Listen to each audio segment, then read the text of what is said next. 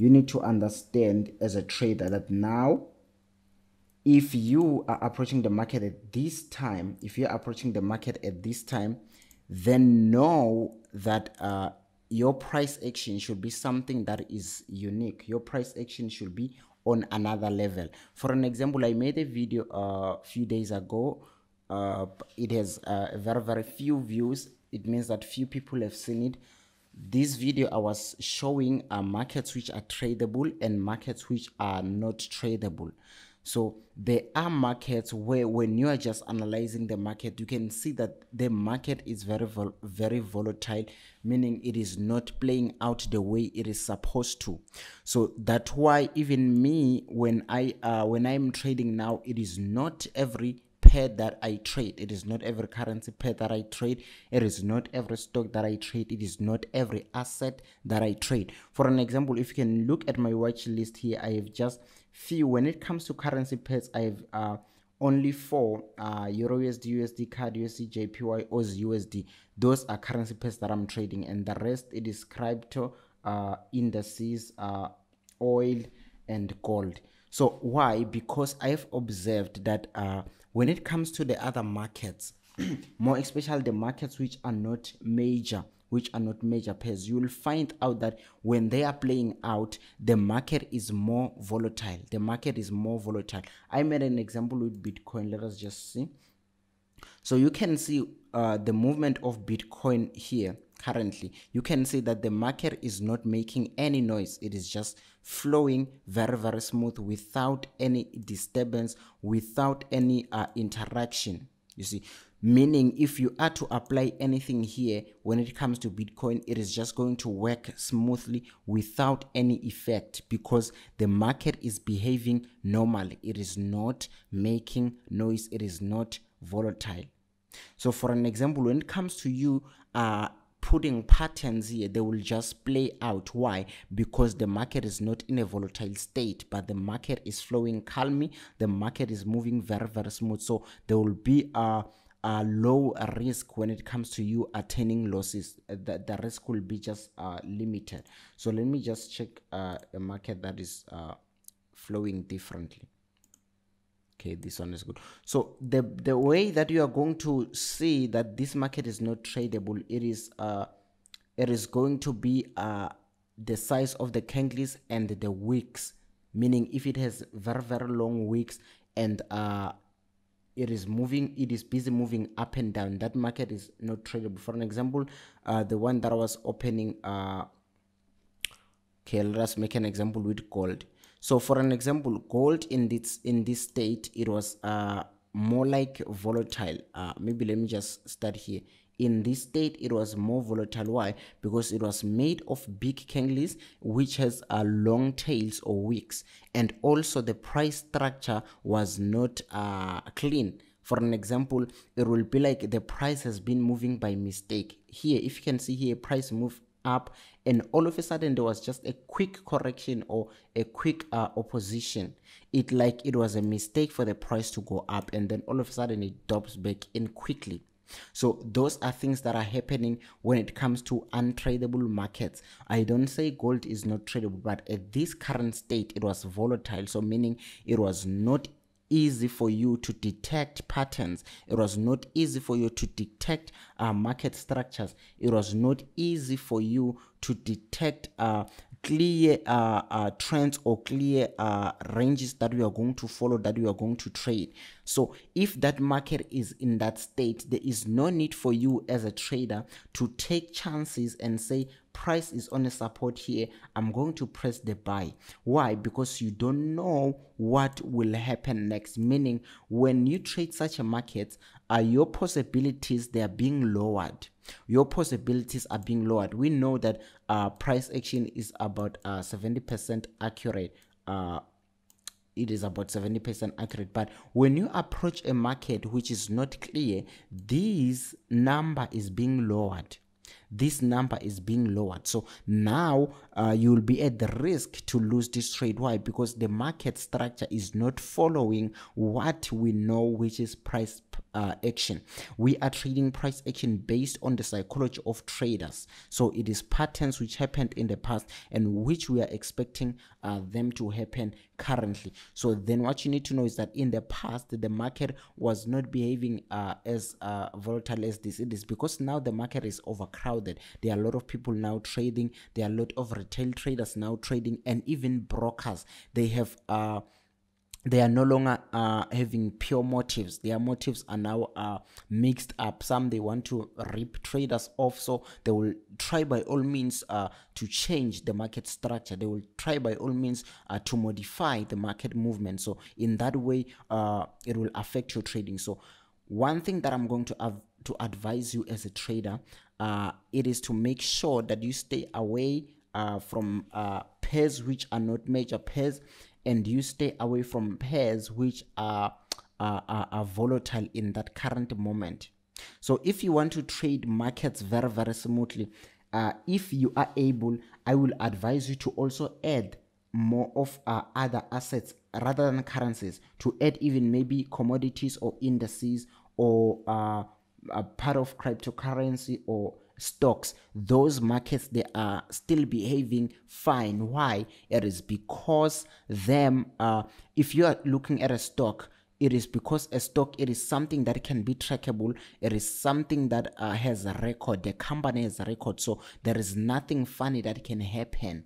You see there is nothing funny that can happen so those are markets which are, uh, are still behaving very very well. That's why i've eliminated a lot of currency pairs. Why? Because they are not behaving fine. They are not behaving the way i want them to behave. You can ask yourself as a trader why am i losing? Yet i have a lot of knowledge. Why am I losing? Why am I not able to make money while I have more knowledge? It is because of the market. It is not because of you. The market have changed. There is a revolution in the market. So make sure that you focus on markets which are still pure, which are still behaving very, very uh, calm. I hope uh, that one is making sense. and also one important thing that is going to help you in your trading uh, because the purpose and the reason we are trading it is to make money. So one thing that is going to help you as a trader it is not only uh, focusing maybe on day trading. Now, I'm just advising you, it is not only maybe focusing on day trading because day trading, we are just uh, opening trades and we are closing trades within the day. But there are assets which uh, require you as a trader to focus maybe even on long term investment. For an example, uh, when it comes to uh, Bitcoin, it has been going up and it is still going to go up. So those are assets that you as a trader you should own. You should acquire part of it meaning you should be investing in uh, in that particular asset. For an example not actually just trading but just maybe purchasing a $200 worth of bitcoin and just storing it there just not touching it not doing anything. So that that one is going to help you in a long run because we are investors here. We are not just here uh, to make money quickly and then we go. We are just here to invest. So it is going to help you. If you are seeing a market moving in a clear direction uh make sure that you stay in that direction until the market reverses until the market reverses if you are let me just check a market that is uh moving in a just clear direction. Seems like most of them are on a range on a range on a range. Okay let me just make an example with bitcoin. Let me not search other pairs. For an example let's say you are trading here. Let's say you are trading here and then uh, you purchase uh, this asset or you buy this asset uh, somewhere around this point here somewhere around this point here. And all of a sudden when the market reaches this level let's say maybe you go out of the trade you go out of the trade. There is one thing that i advise you guys about uh, trade management and scaling in. I told it uh, a while ago that if you want to really uh, make money from the market, you really need to divide your positions. For an example, you are buying here. Let's say uh, you are you you analyzed your risk and you you you, you came with a conclusion that in every trade i take i will use a lot size of 1.0 so now instead of you buying this with 1.0, I will advise you to say, okay, I'm going to buy this, but I'm just going to open two positions with 0.5. So now you have two positions uh, with 0.5. So now these two positions, the other position, it is a position that is going to be long term, and the other position, it is going to be a position which is based on price action, meaning you are going to close the trade when you see strength uh, being opposed.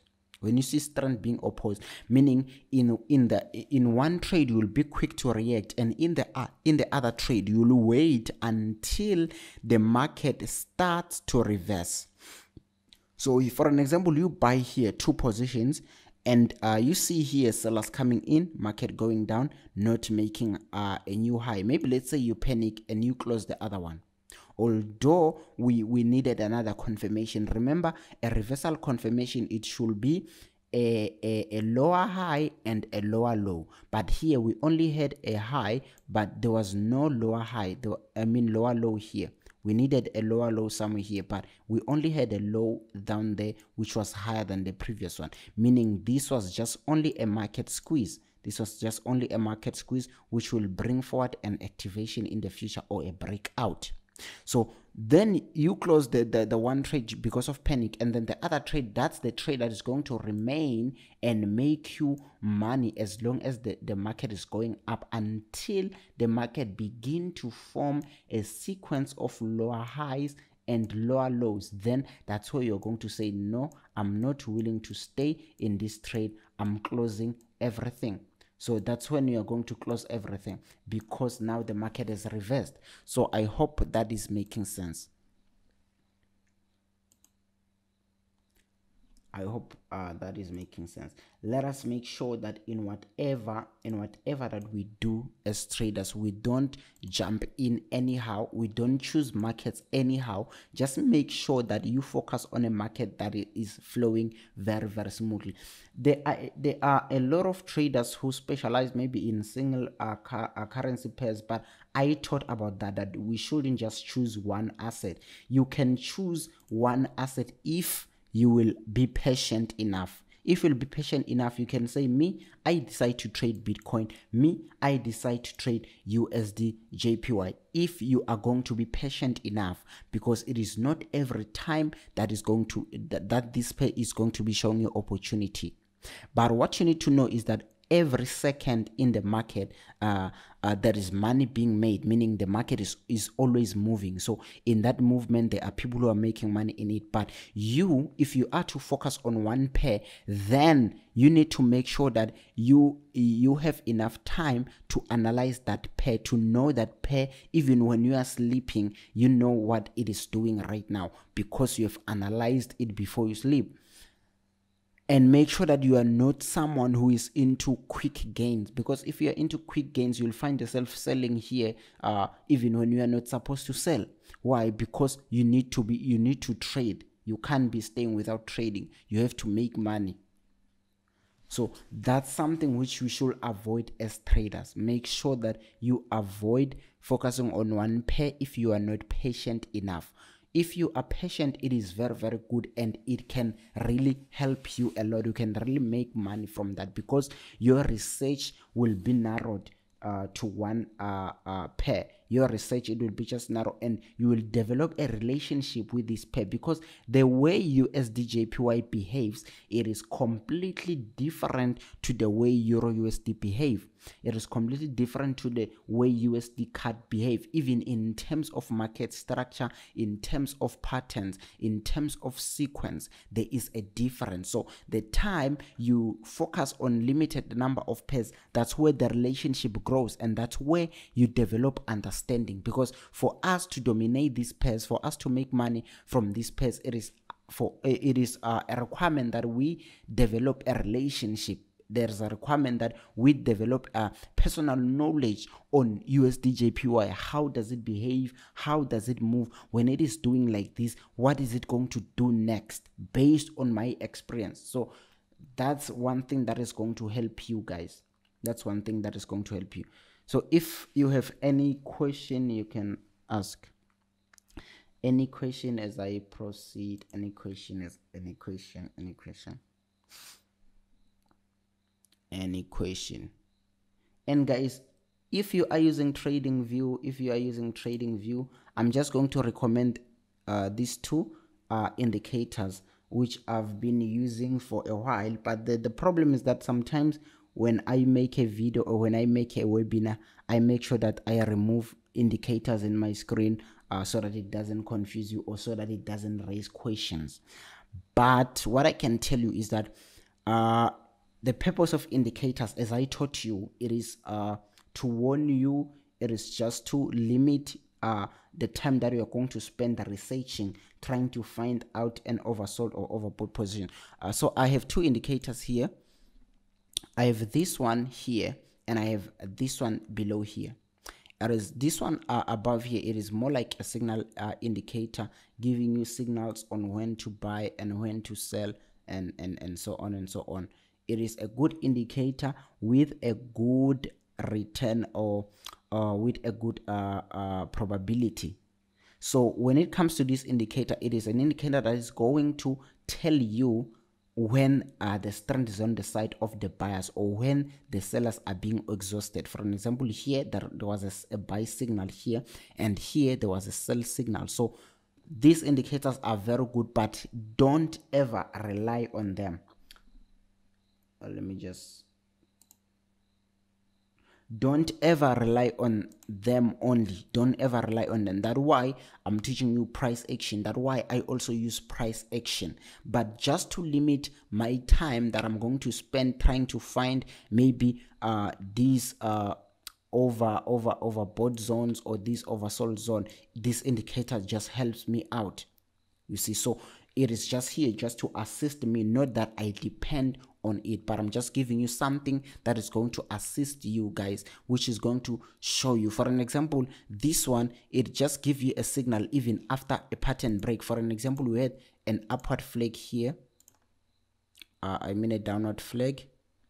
So here was a flag which was here to give us a downward signal. So this signal came in just after the pattern break. Same thing applies to this one. It came in just after the downward flow uh, was broken. So these indicators they they are just created to assist you based on what you already know as a trader. So uh, you can just apply there is there is its name yeah there is its name here. It's super super tracks. It is found here on indicators. It is just free indicators uh, no complication so i hope i hope it is making sense. So if we don't have any questions uh then i'm going to close because this was just a short message that I, I, I wanted to give you guys that it is simple to lose in forex. By just trading a market which is not tradable you you can lose a ton. You can lose a lot of money. So just focus on markets which are clean. Focus on markets which are not volatile. Focus on markets which are you understand the structure don't uh don't be someone who is excited to just click uh buy or sell. Make sure that you are even excited to wait for a trade to wait for a trade to play out to wait for a trade to form that structure that you want. Then you are going to be profitable in, in trading. So thank you guys for joining. Thank you for joining. Thank you for joining. Gpusd uh usd jpy behave differently can you tell about stochastic okay. Uh GBUSD USD behave differently. Yeah yeah yeah they behave differently. They behave differently. They behave differently. Why are they behaving differently? It is because uh looking at the GBP and the Japanese yen the economy or the state of uh, these countries uh, they are very different and they are being moved or they are being affected by different things. They are being affected by different things. Uh, i haven't done a research on uh, what makes the japanese economy to stand or uh, the pound economy to stand but i'll make an example with uh CAD uh, the canadian uh, dollar. So if you are see, you are to see the canadian dollar its economy it is uh, affected mostly by gold. You see it is affected mostly by gold and others there are economies which are affected mostly by oil. Others it is just imports and exports. Others it is just uh other things. So the the, the economy is affected by different things. So then the behavior of, of those pairs is going to be different. Is breakout strategy uh, more better than supply and demand or support and resistance. Okay. Breakout strategy is it different from support and resistance? No no it is it is it is one thing. You are separating things that cannot be separated. Because for us to have a breakout we need to have uh, a support and a resistance. So if you are trading support and resistance. Let me just put a line here. And then maybe even here and then here and then maybe somewhere here. Yeah just uh, i'm just putting the lines here. So if you are trading using support and resistance then you need to understand that breakouts they are they they are part of it. Why? Because support and resistance they are always are broken out. They are always broken. So for an example this one it will be broken in the future. This one was also broken. This one was also broken here. Uh, so support and resistance would break out they work. So you cannot say me i will only uh, sell resistance and buy support. What about breakouts? What about breakout because they happen also in those same zones. So if you if you like support and resistance also learn how to trade breakouts because they are directly linked so if you know support and resistance and you don't know breakouts then you will lose because those are things which are happening frequently in the market. The market is just made of support, resistance, breakout, and trend. So it is those things which make the market. How can one know where the market reverses based on price action considering different uh, time frame? Uh, I don't know what's that shed or oh, shed more lights please. Okay. Based on different time frame. Okay. This is something which i speak about in every single video. When it comes to saying when is the market going to reverse it is simple. Let me just make an illustration. It is simple. Let's say we have this market going up here and then all of a sudden it does this so it hasn't reversed yet but then this market is going to reverse you see why because of the strength which is changing. Here it was strong big waves and all of a sudden it is weak small waves and it couldn't make higher highs. So it is about to reverse. You see, before it can even reverse, you have just seen it here on its high that okay, it is about to reverse. Why? Because the market, it is simply one thing. It is one thing. It is just a display of the strength between the sellers and the buyers. So this is just a definition of a chart. A chart it is just a display of the strength between buyers and sellers simple. So everything that you do it is just be based on strength. If you are to see a reversal it will be strength. If you are to see uh, a continuation it will be based on strength. Just be able to identify momentum then you have uh, won. You have won in trading. Price action is all about momentum. Higher highs higher lows lower highs lower lows that's momentum. So i hope i hope that's clear. I hope that clear. I enlight this thing in in more of my videos in most of my videos. You can check the youtube. There's a playlist about trend trading the trend trading course. I think uh, the third video or the second video i highlight about strength and also the this course uh, for volatility index i also uh, mention strength there. So I just mention momentum and strength now and then. And if you are struggling with with uh, identifying it with your eyes, there are things that will help you. For an example, volume it can help you. I once thought about about volume, but I will teach with uh, about it again. Volume and momentum indicators. Uh, those things they help you to to show you the strength so just study volume and uh, other momentum indicators can you touch fibonacci please okay so these things that you are, you are telling me guys it means that these are going to be topics of the next day because now we are left with very very few minutes. Fibonacci i touched fibonacci. Uh, those who, who have been here I, I think they remember. I think it was three months ago i touched fibonacci but i will touch it again because you have you have requested it. So i will touch it again. Uh, I hope there is no other question. So those these other questions that you are posting, guys, I'm just briefing you, but I will just make uh, lessons based on that. So uh, I will touch Fibonacci and teach you everything about it. So I hope we, we all enjoyed. So guys, we are going to end here for today. We are going to end here for today. So thank you for joining uh, this meeting uh, we'll see each other on social media on youtube on telegram on instagram. Uh, and again we'll meet uh, in this place. I'm not sure when but uh, i'm just trying to make these things frequently so that you will receive more value. So thank you guys for joining